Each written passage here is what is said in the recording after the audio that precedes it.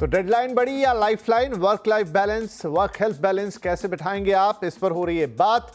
और चलिए अब कुछ फोकस करते हैं कि कैसे आप ये सारी चीज़ों को फिक्स करेंगे, अगर आपको लग रहा है कि आप भी इसी तरह की किसी स्थिति में फंसे हुए हैं। राइट तो सोनाक्षी, मुझे बताइए कि as an individual as a worker आपको कैसे पता लगेगा कि आपका जो ये बैलेंस है ये बिगड़ रहा है? वो कौन सी साइंस होंगे जहाँ पर आपको ज़रूर अलर्ट हो जाना चाहिए कि ये चीज़ अब थोड़ी बिगड़ रही है और मुझे इस पर ध्यान देना चाहिए। बिल्कुल। सो so, जब हम हर रोज़ ऑफ़िस के लिए तैयार होते हैं सबसे पहले हम अपने आप से ये देख सकते हैं क्या हमारा आज मन है ऑफ़िस जाने का? क्या हम रेडी है कि आज कोई भी हमें कुछ भी बोल दे, हम कुछ भी करके दिखा सकते हैं और हम आज रिज़ल्ट ला ही दिखाएँगे। क्या हमारा ये स्टेट ऑफ़ माइंड है?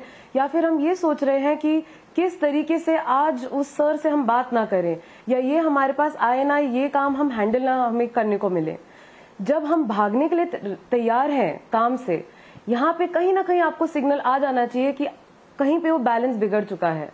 आपका अंदर का संतुलन जो है एक खुशी का, एक शांति का, एक पैशन जिसको हम बोलते हैं काम के लिए, वो कहीं ना कहीं हिल चुका है। इसीलिए हम भागने के लिए तैयार हैं। जब हमें लगता है कि बस ब्रेक कब होगा, कब हम रिलैक्स कर पाएँगे, कब हम वो टीवी देख पाएँगे, कब हम वहाँ कहीं बाहर जा पाएँगे, जब हमारा फोकस पूरी तरीके से काम से भागने का होता है, इसका मतलब ये है कि वो आपका एरिया पूरी तरीके से कंप्लीट नहीं हो रहा है।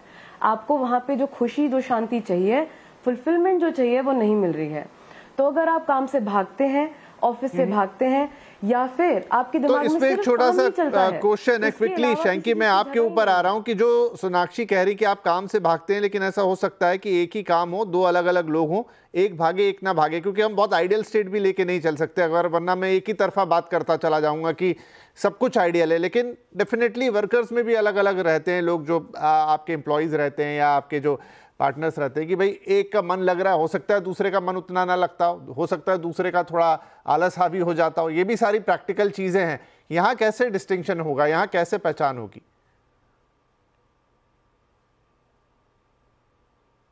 आई थिंक एक इंपॉर्टेंट चीज़ जो समझने की है इज़ आपका प्रोफेशन क्या है? आई थिंक कॉपरेट कल्चर और बाकी सारी चीज़ों में कहीं ना कहीं इतना इमरजेंसी कल्चर बन गया है जैसे हम कोई डॉक्टर हों। लाइक like, सबसे पहली चीज़ समझनी है लाइक like, हम प्रोफेशन में नहीं है टू सेव लाइफ्स हमारा प्रोफेशन है डेडलाइंस का काम का जो कि इंपॉर्टेंट है।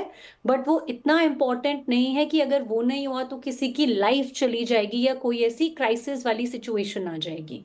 दूसरी चीज़ आई थिंक हर एक इंसान में उनके मैनेजर्स को उनके कॉपोरेट कल्चर्स को देखना चाहिए कि किसमें किस चीज़ की क्षमता है।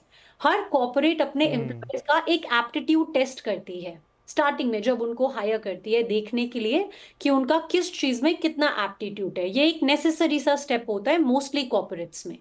अगर उस एप्टीट्यूड के समय पे आप देख पाए कि किस इंसान में कितना काम करने की चाह है किस इंसान को कितना पैशन है, कितनी चीज़ कितना करने चाहते हैं और उसके बेसिस पे वो वर्क करें। बट यहाँ मैं एक और चीज़ हाईलाइट करना चाहूँगी कि कहीं ना कहीं हर एम्प्लॉय को एक एबिलिटी टू से नो को प्रैक्टिस करना चाहिए।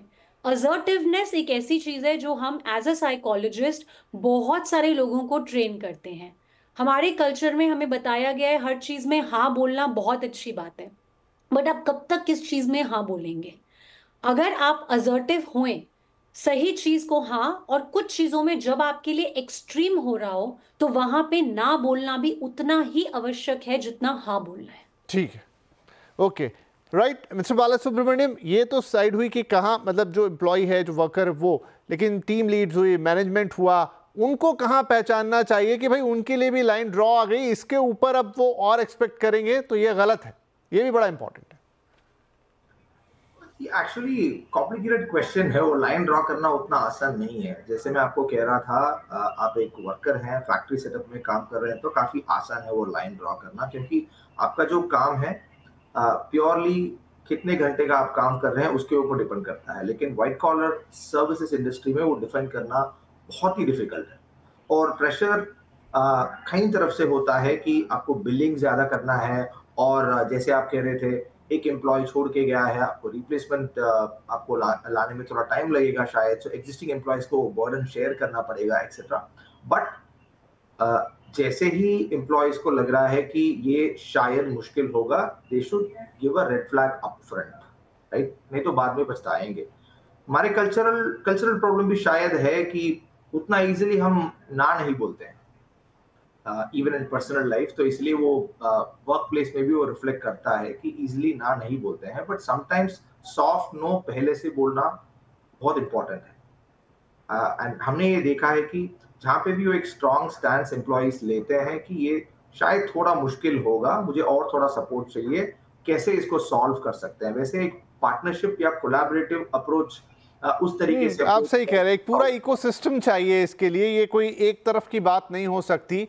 ये एम्प्लॉय या एम्प्लॉयर की बात नहीं हो सकती, एक पूरा इकोसिस्टम है जिसमें इक्वली सबको रोल प्ले करना है, क्योंकि बहुत आइडियल कंडीशंस तो कहीं भी नहीं होंगी, लेकिन उन सबके बीच में एक बैलेंस कैसे स्ट्राइक हो, एक संतुलन कैसे बैठे एक एम्प्लॉय एक वर्कर को नो करना है, एक मैनेजर या टीम लीड को देखना है कि वो अपनी लाइन तो क्रॉस नहीं कर रहा, और यहाँ पर शायद पूरा इन्वायरमेंट वो ऐसा बने कि भाई सब जगह संतुलन पैदा हो ना कि असंतुलन की स्थिति बने। हालाँकि अगेन ये कैसे अचीव होगा ये बहुत आ, एक महीन सी बात है बट करना तो पड़ेगा ही नहीं तो फिर इसी तरह की घटनाएँ शायद सुनने देखने को मिलेंगी। लेकिन आई होप ये सारी बातें जो आज हमने की again awareness understanding thought process इन सबको ही बढ़ावा देगी और इन्हीं चीज़ों से समस्याओं के हल निकलते हैं। बहुत शुक्रिया आप तीनों ही मेहमानों का इस कार्यक्रम में शामिल होने के लिए और अपने इनपुट्स देने के लिए। नमस्कार।